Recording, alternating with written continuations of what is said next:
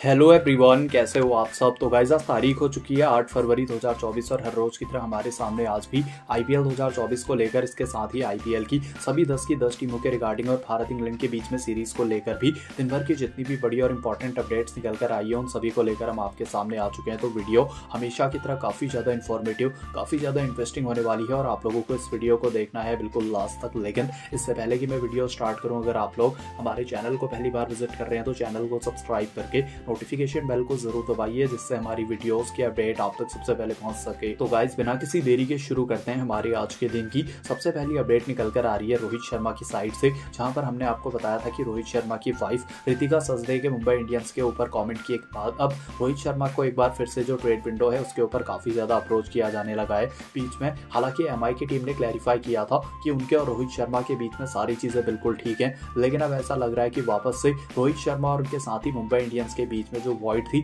वो हमें काफ़ी ज़्यादा वाइड होती हुई नज़र आ रही है। इन्हीं रीजन के चलते हुए फ़ायदा उन टीमों को देखने को मिल रहा है, जो कि रोहित शर्मा को पहले ट्रेड करना चाहते थे। इन टीमों के लिस्ट में गुजरात टाइटन्स और उनके साथ ही डेली कैपिटल्स की टीमों का नाम आता है, दोनों ही टीमें। अब अपनी टीम में रोहित शर्मा को ट्रेड करने में काफ़ी ज़्यादा इंटरेस्टेड नज़र आ रही है। रोहित शर्मा की ट्रेड के रिगार्डिंग अगर आप लोगों को सारी इन्फॉर्मेशन चाहिए तो आप लोग अभी डिस्क्रिप्शन बॉक्स खोलकर फटाफट हमारे टेलीग्राम चैनल को ज्वाइन कर ले, जहाँ पर आज हम आपको रोहित शर्मा का पूरा का पूरा ट्रेड ऑफ़र के बारे में वहाँ पर अपडेट देंगे कि रोहित शर्मा को कितने करोड़ करोड़ रुपए का ऑफ़र इन टीमों के द्वारा प्रोवाइड किया जा रहा है। फ़िलहाल गई हम चलते हैं हमारे आज के दिन की अगली अपडेट और ये अपडेट निकल कर आ रही है महेंद्र सिंह धोनी की साइड से, जहाँ पर हमने आपको बता दिया था कि इंजरी से रिकवर होने के बाद अब एमएसटी ने आईपीएल 2024 के लिए अपनी प्रिपरेशन को स्टार्ट कर दिया था। उनकी फ़ोटोज़ तो आप लोग स्क्रीन के ऊपर देख पा रहे होंगे, लेकिन इस फ़ोटोज़ में दो काफ़ी ज़्यादा नोटवर्दी चीज़ें हमें देखने को मिली। सबसे पहले तो इनका जो हेयर स्टाइल है, वो हमें उसी तरीके का देखने को मिल रहा है, जब करीब 2003-2004 में इन्होंने डेब्यू किया था। उसी तरीके के लुक के साथ एमएसटी एक तरीके से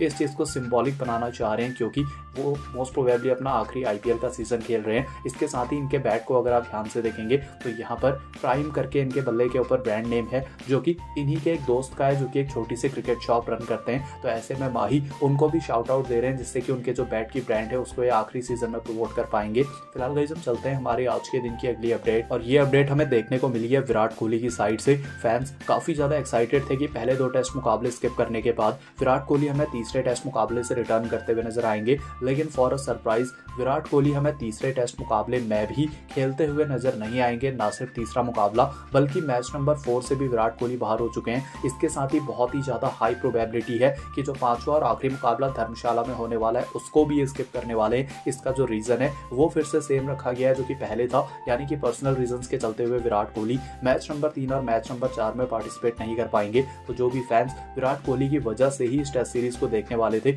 या फिर इस टेस्ट सीरीज़ में विराट के आने का वेट कर रहे थे जैसे कि वो अग्रेशन वाली चीज़ हमें देखने को मिलती, वो अब नहीं हो पाएगी, क्योंकि विराट मोस्ट प्रोबेबली पूरी सीरीज़ से ही बाहर हो चुके हैं। कॉमेंट सेक्शन में कमेंट करके आप लोग बताना कि आप लोगों के हिसाब से विराट कोहली का इस पूरी की पूरी टेस्ट सीरीज़ को ना खेलने का डिसीज़न सही है या फिर गलत, फ़िलहाल हम चलते हैं। हमारे आज के दिन की चौथी बड़ी अपडेट और ये अपडेट निकल कर आ रही है जसप्रीत बुमराह की साइड से, जहाँ पर जसप्रीत बुमराह ने कल काफ़ी सारे रिकॉर्ड बना दिए, जहाँ पर ये इंटरनेशनल क्रिकेट की हिस्ट्री में सिर्फ़ ऐसे चौथे प्लेयर बन गए जिन्होंने की टेस्ट टी ट्वेंटी और उसके साथ ही ओडीआई तीनों फॉर्मेट में नंबर वन की पोजीशन हासिल कर ली। इनसे पहले ऑस्ट्रेलिया के मैथ्यू हेडन ऑस्ट्रेलिया के ही रिकी पॉन्टिंग और उनके साथ ही भारत के विराट कोहली इस रिकॉर्ड को बना चुके हैं। तो खैर, इस रिकॉर्ड को बनाने के बाद बुमराह की साइड से हमें काफ़ी ज़्यादा क्रिप्टिक स्टोरी इनके स्टोरी इंस्टाग्राम हैंडल के ऊपर देखने को मिली, जहाँ पर बुमराह ने जो स्टोरी लगाई वो आप स्क्रीन के ऊपर देख पा रहे होंगे। उसमें इन्होंने साफ़ साफ़ दिखाया कि जब ये स्ट्रगल करते हैं, यानी कि जब तक इनको सक्सेस नहीं मिली होती है, तब तक इनको कोई भी सपोर्ट नहीं करता, सिर्फ़ एक ही इंसान इनके साथ था। लेकिन अब जब ये नंबर वन बॉलर बन गए, अब जब इनका रिटर्न हो गया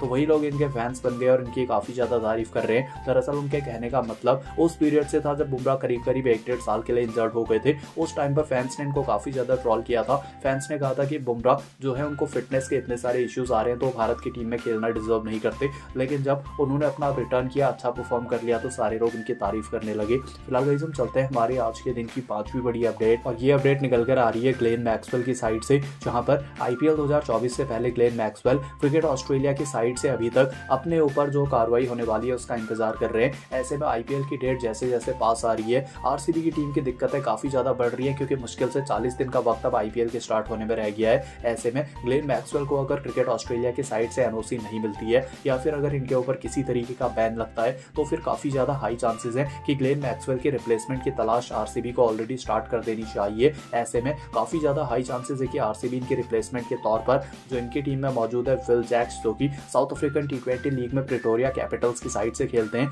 जिस तरीके से वो हिटिंग कर रहे हैं, बिल्कुल लाइक टू लाइक रिप्लेसमेंट हमें देखने को मिलते हैं। उनके जो सिक्स हिटिंग एबिलिटी है, उसको अक्सर ही कंपेयर किया जाता है एबी डिविलियर्स के साथ में। तो ऐसे में ये एक ऐसे रिप्लेसमेंट है जो कि आरसीबी के लिए ब्लेसिंग इन डिस्गाइज प्रूव हो सकती है, क्योंकि विल जैक्स भी अपने करियर की बेस्ट फॉर्म में चल रहे हैं। हालाँकि वो अलग बात है कि भारत में अभी तक उन्होंने एक भी मुकाबला नहीं खेला है। फ़िलहाल हम चलते हैं हमारी आज के दिन की छठी बड़ी अपडेट और ये अपडेट निकल कर आ रही है ईशान किशन की साइड से, जहाँ पर ईशान किशन, जो कि बीसीसीआई के साथ उनका पता नहीं, कुछ तो इशू चल रहा है, क्योंकि बीसीसीआई को कोई भी क्लैरिटी नहीं है कि ईशान किशन कहाँ पर है, क्यों है, लेकिन फाइनली ईशान किशन की साइड से अपडेट देखने को मिली है कि ये है हार्दिक पांड्या और कृणल पांड्या के साथ में।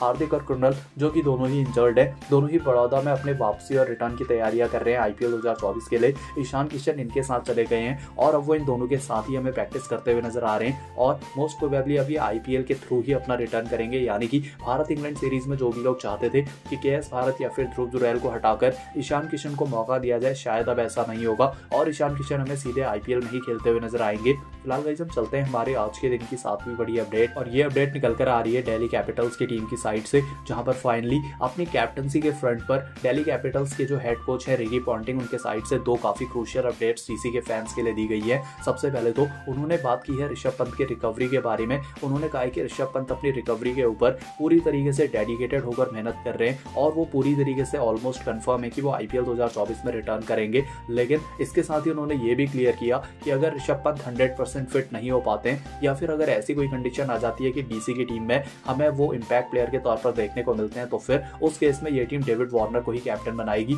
तो जिस तरीके से स्टेटमेंट इन्होंने दी, उसको सुनकर ऐसा लग रहा था कि मानो इन्होंने ऑलरेडी डेविड वार्नर को कंफर्म कर लिया है कि वही कैप्टन रहने वाले हैं। तो ऐसे में मोस्ट प्रोबेबली आईपीएल 2024 में डेविड वार्नर ही आप लोगों को डीसी की साइड से कैप्टनसी करते हुए नज़र आएँगे। फ़िलहाल गाइस हम चलते हैं हमारे आज के दिन की आठवीं और आखिरी अपडेट और ये निकल कर आ रही है, भारत और इंग्लैंड के बीच में जो टेस्ट सीरीज़ चल रही है। उसके तीसरे टेस्ट मुकाबले से पहले जो जो अपडेट्स निकल कर आई है, वो हम इसी अपडेट में कवर कर लेते हैं। तो सबसे पहले तो केएल राहुल के रिगार्डिंग अच्छी अपडेट है कि उनकी रिकवरी काफ़ी अच्छी गई है। मोस्ट प्रोबेबली केएल राहुल हमें अपना रिटर्न इसी मुकाबले से करते हुए नज़र आएँगे। इसके साथ ही जसप्रीत बुमराह के रिगार्डिंग भी अपडेट है। पहले ये कहा गया था कि जसप्रीत बुमराह हमें इस मुकाबले में रेस्ट लेते हुए नज़र आ सकते हैं क्योंकि वो काफ़ी क्रिकेट खेल रहे हैं। लेकिन अब ऐसा नहीं होने वाला। मोस्ट प्रोबेबली बुमराह भी तीसरे टेस्ट मुकाबले में खेलना चाहते हैं। उन्होंने बीसीसीआई से कहा है कि वो अवेलेबल है। इसके साथ ही मोहम्मद सिराज जो कि इंजर्ड हो गए थे, उनको बाहर किया गया था, ऐसी पहली अपडेट थी, लेकिन बाद में क्लियर किया गया था कि उनको ब्रेक दी गई है। वो भी अपना तीसरे टेस्ट मुकाबले से रिटर्न करेंगे। तो गाइज़ ये वीडियो ही तक थी। अगर आप लोगों को वीडियो पसंद आई हो तो इसको लाइक करके हमारे चैनल को ज़रूर कीजिए। सब्सक्राइब